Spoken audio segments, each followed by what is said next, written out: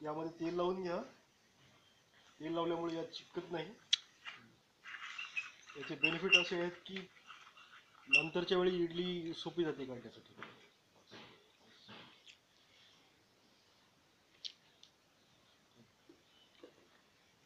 यामध्ये भरून घ्या पूर्ण पात्र आणि भरती वेळी कमी कमीत कमी भरा असं.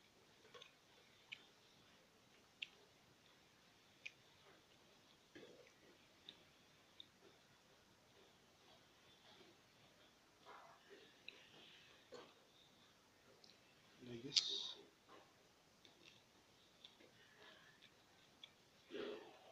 Pause. करून घ्या या भरलेला आहे याला उचलून यामध्ये ठेवून टाका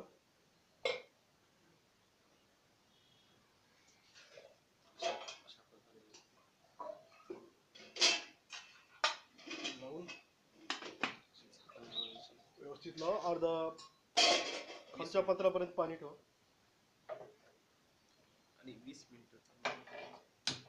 वीस मिनिटं आगीवर ठेवून टाका